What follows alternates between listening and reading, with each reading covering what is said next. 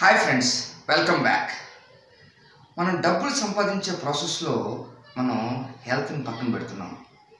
మనం చివరికి ఎంత డబ్బు సంపాదిస్తున్నాం తెలియదు కానీ జబ్బులు మాత్రం చాలా సంపాదిస్తున్నాం.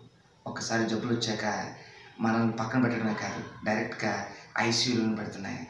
సరే మరి అలాంటి జబ్బులు అస్తమానం జబ్బులు జబ్బులు అంటే బాగుంటుంది కదా. సరే దీన్ని పాష్గా హెల్త్ ప్రాబ్లమ్స్ అన్నాం. ఓకేనండి? సరే ఈ హెల్త్ ప్రాబ్లమ్స్ రావడానికి ఏంటి కారణాలు?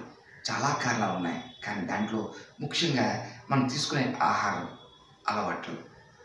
ఆ టాక్సిన్స్ ఓవర్లోడ్ అవ్వడం. అది మనం పీల్చే గాలిలో కానీ తినే ఆహారంలో కానీ తాగే నీటిలో కానీ మనం వాడే వస్తువుల ద్వారా టాక్సిన్స్ లోపలికి వెళ్ళి అది అక్యుములేట్ అయ్యి దానివల్ల ప్రాబ్లమ్స్ వచ్చే అవకాశం ఉంది. సో ఇవి వీటన్నిటి వల్ల మ్యాక్సిమం ఒక ట్వంటీ ఫైవ్ నుంచి థర్టీ పర్సెంట్ ప్రాబ్లం వచ్చే అవకాశం ఉందండి.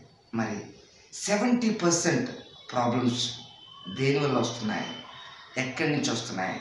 అని కనుక ఆలోచిస్తే ఆన్సర్ ఏంటంటే అది ఇక్కడి నుంచి వస్తున్నాయి? ఇక్కడ.